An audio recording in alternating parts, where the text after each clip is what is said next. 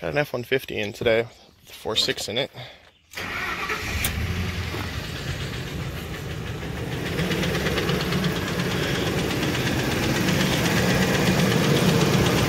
So it's got a few bad coil packs in it.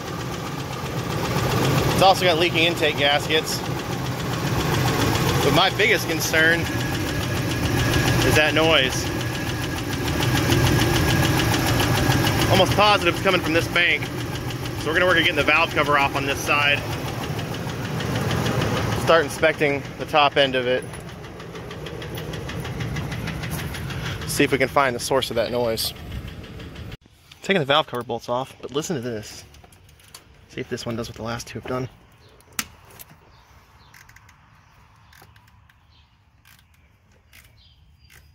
That one didn't do it. These last two made a gushing noise when I took them out and I actually pushed oil up out of their holes. It's weird. Let's see if I can get another one to do it. Alright, so we tore this thing down yesterday to try to find a ticking noise that I was hearing out of this bank of the engine. And I've got it apart, and other than a lot of timing chain slack, I can't find that ticking noise. So they've had issues before, like three different times it's blown out the third spark plug back on this side. Now, it's got a bunch of loose coil packs in it, the intake gaskets are leaking, this thing has issues. But I'm trying to diagnose this ticking noise before we go any further, because we need to find out what's wrong with it. Now, this is a 4.6 2 valve. Now, I don't know how much you guys know about these engines. There's the 2 valve and the 3 valve. The 3 valve is the one that has that really long spark plug that's known to seize in the head and break. Two valves, though, just use a regular spark plug. There's nothing special about the two valve. Uh, I mean, this is the same engine, I think, since 94 that Ford's been running. It used to be the PI, then I went to coil on plug in, like, I think it was 96 or 97.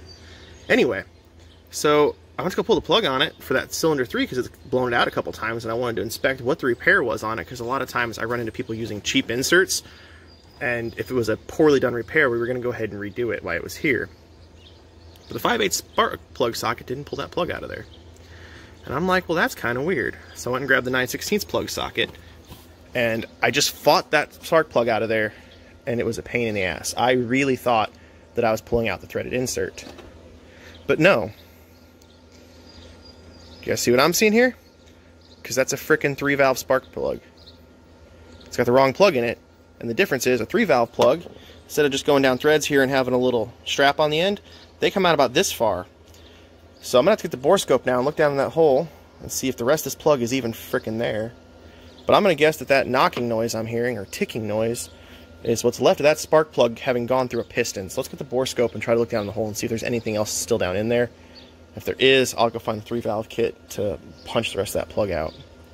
All right, so if you guys can uh, see. Actually, there's a side camera option on that. You might be able to see the other. Uh, either way, the top of that piston is not looking great. I can see right down here the outer edge of the piston is damaged. The rest of this spark plug is nowhere to be found. So it, the cylinder has literally beat the end of this spark plug off. Yeah, it's not even the right spark plug for the motor. Yeah, it's way too long of a plug. So this thing has just destroyed itself. And that's probably why it kept launching spark plugs out. Yeah.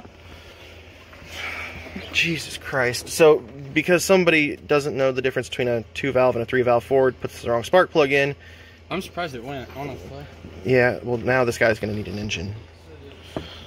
So, I mean, there's nothing in there. You can see there's been a lot of bypass in this hole. You can see carbon buildup and stuff. But it's going to be an engine because somebody put the wrong spark plug in.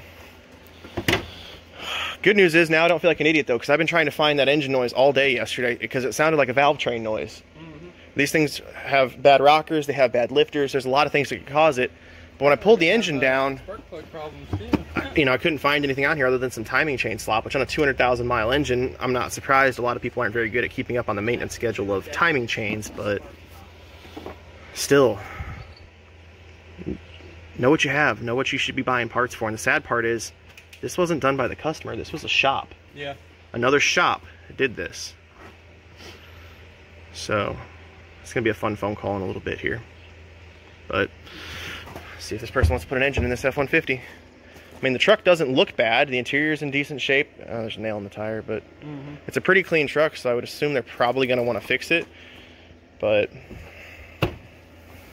One way to find out.